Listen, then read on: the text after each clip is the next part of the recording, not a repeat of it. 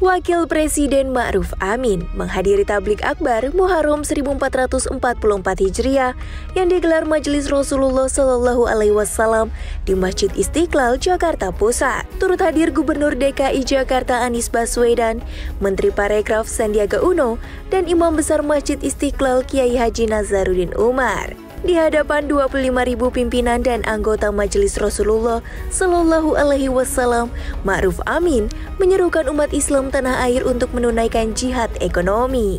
Wapres mengatakan, jihad ekonomi sangat penting untuk menjaga ketahanan ekonomi negara di tengah proses pemulihan pandemi COVID-19 serta krisis ekonomi global yang melanda.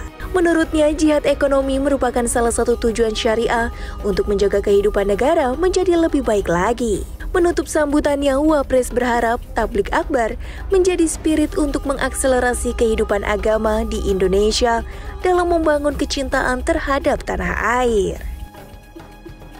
Sekarang kita juga dipanggil untuk berjihad, tapi jihadnya jihad ekonomi, jihad iktisad.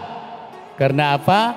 Karena kita sekarang sedang menghadapi pemulihan ekonomi, akibat COVID yang tidak saja menghancurkan kesehatan, sosial, tapi juga ekonomi sehingga kita pulih